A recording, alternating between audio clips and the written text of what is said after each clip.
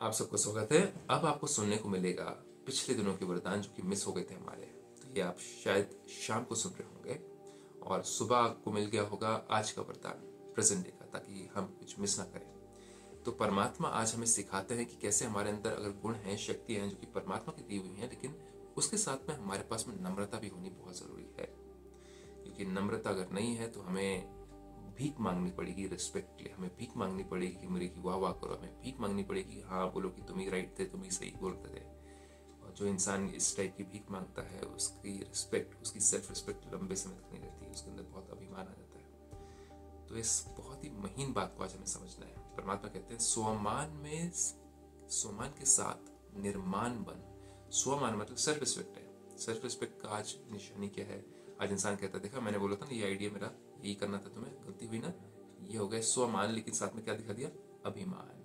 स्वमान हो, लेकिन वो वाला जो किसी को नीचे दिखा करके, किसी को प्रूफ करके एक्चुअली आप किसी को प्रूफ नहीं कर रहे हो। आप एक्चुअली उनसे बोल रहे हो कि मुझे रिस्पेक्ट करो, मुझे प्यार करो, मुझे अटेंशन दो, मुझे बोलो कि हाँ आप राइट थे।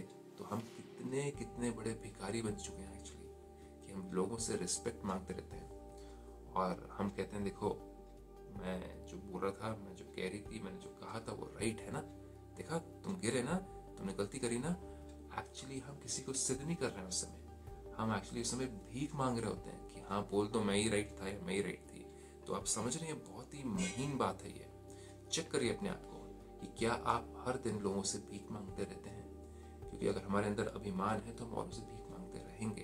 और कहेंगे कि देखो, मेरी बात को मानो तुम कि मैं नहीं, मैं ही सही था या मैं ही सही थी। ये भीख मांगना हुआ, ये किसी को सिद्ध करना नहीं हुआ। तो परमात्मा कहते हैं, जो बच्चे अविनाशी सोमान में रहते हैं, अविनाशी बोला है, क्योंकि जो पहली हमने डिस्कस करी बात, वो अविनाशी नहीं होती, वो चलो आपका रिस्पेक्ट कर भी देगा।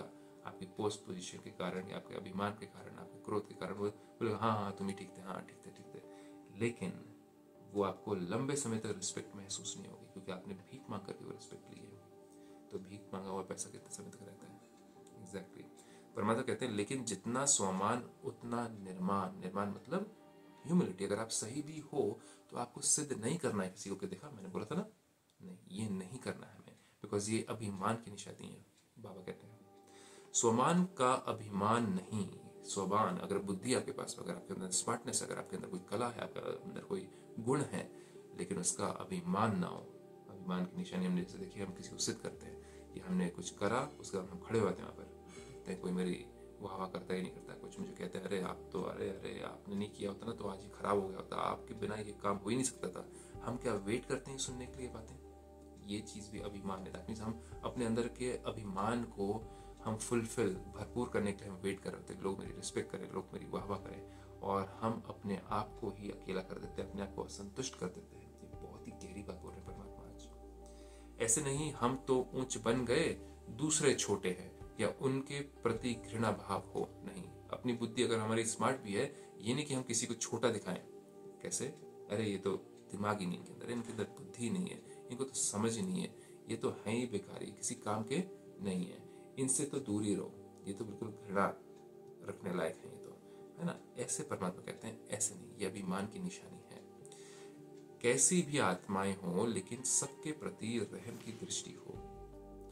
आत्मा के अंदर वो गुण ना भी हो, आत्मा के अंदर वो कलाएँ ना भी हो जो कि परमात्मा ने आपको दी हो, लेकिन फिर भी आपके अंदर वो अभिमान ना हो और घृणा ना हो कि ये छोटे और मैं बड़ा हूँ, ये ये स्मार्ट नहीं और मैं स्मार्ट हूँ। नहीं। ऐसी निर्माण आत्माएँ हर एक को आत्मिक दृष्टि से, क्योंकि हर आत्मा के अंदर अपने अपने गुण क्वालिटीज हैं, वो हर एक को स्वीकार करेंगे। एंड हंड्रेड परसेंट गारंटी है, अगर आप सोचें कि आपके अंदर कुछ गुण है, लेकिन आपके अंदर वो गुण नहीं जो उनके अंदर है।